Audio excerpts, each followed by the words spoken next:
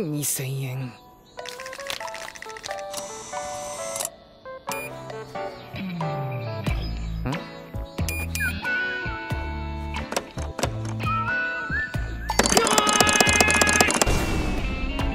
不幸だ。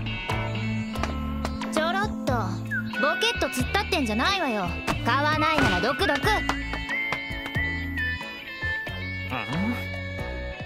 常盤台中学の制服誰だっけ？でなんだこいつ？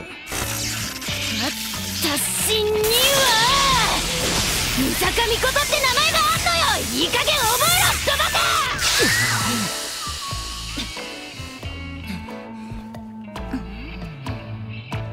ばやっぱ知り合いか。その自販機な。どうもお金を飲み込むっぽいぞ。知って裏技があんのよ。お金入れなくてもジュースが出てくる裏技がね。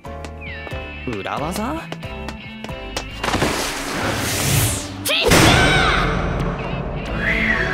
短パン。この自販機ボロっちいからジュース固定してるバネ緩んでんのよね。何が出てくるか選べないのが難点だけど。ってあんたどうしたの？常盤台のお嬢様はみんなこんなことやってんのか？女子校なんてそんなもんよ。女の子に対して夢見んなよ。てめえらが寄ってたかってこんなことしてっから自販機が壊れちまったんじゃねえのか？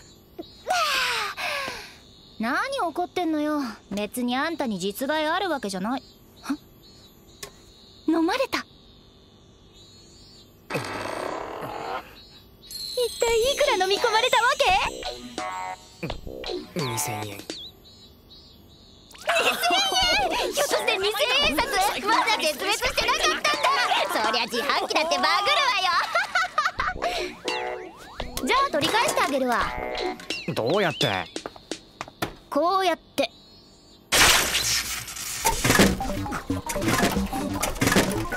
あれいっぱい出てきた。2000円札出てこなかったけど間違いなく2000円分から。これでオッケー？って何思いっきり逃げてんのよ！おーい！